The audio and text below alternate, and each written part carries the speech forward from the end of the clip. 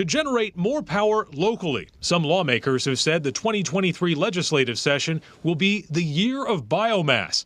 But in an interview for Close Up, Governor Chris Sununu quickly turned the lights out on that idea. You vetoed the subsidies for those in 2019. Would you be willing to re examine your position just to provide that baseload power? No, th those biomass plants cost us $2 billion in subsidies since the 70s. 2 billion in those subsidies. Sununu's Democratic challenger, Dr. Tom Sherman, didn't rule out reviving biomass, but says it's more important to broadly diversify energy sources so cost increases in fossil fuels don't have such an outsized impact. I would look at it as part of that portfolio.